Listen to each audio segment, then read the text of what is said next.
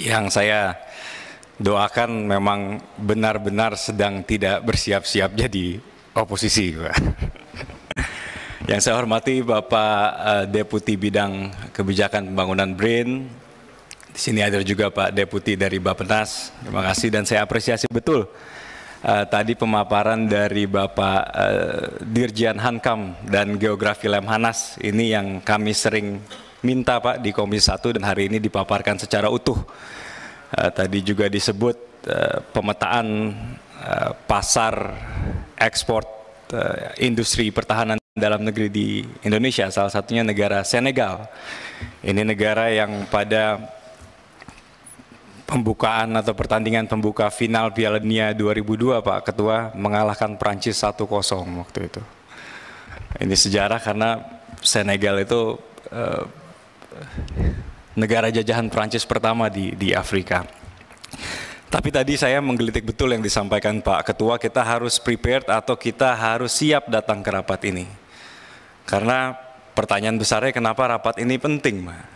Kita sudah empat tahun rapat di sini, Kadang-kadang memang Komisi 1 sering dicap oleh masyarakat sebagai a very lonely commission. Komisi yang apa Pak Ketua? Kesepian kadang-kadang karena ekonomi rakyat kita belum tumbuh dicapnya. Terus masyarakat membutuhkan bantuan sosial dan lain sebagainya. Dana desa 2024 turun. Kita berteriak-teriak soal pertahanan. Padahal prinsip yang kita ingin tegakkan sebenarnya bukan itu.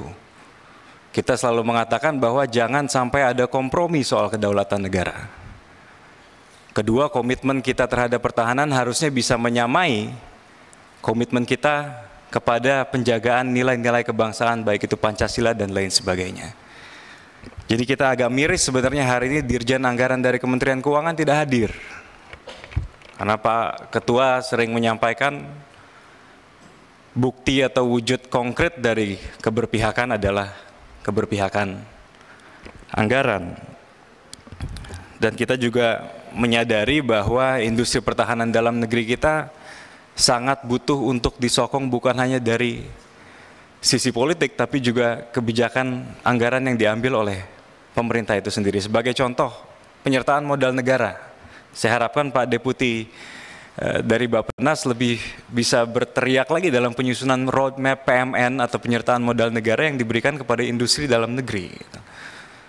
Karena yang kita soroti selama ini banyak BUMN-BUMN plat merah yang hanya hobi ngutang justru justru membangkrut, membangkrutkan negara yang mendapatkan keberpihakan tersebut.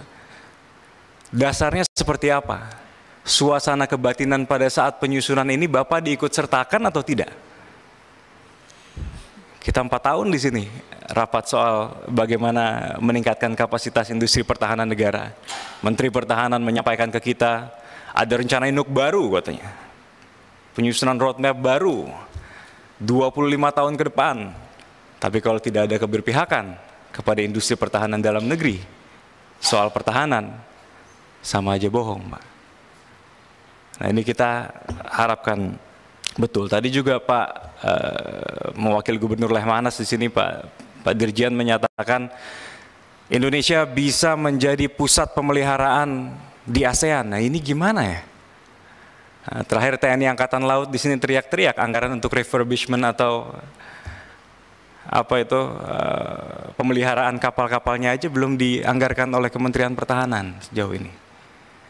Nah, di sini tentu banyak tanda tanya tanda tanya yang kita perlu jawab atau setidaknya bisa diberikan paparan. Jadi jangan sampai apa yang kita suarakan dalam panja ini nggak berdampak kepada penyusunan atau peningkatan kapasitas industri pertahanan dalam negeri ke depan.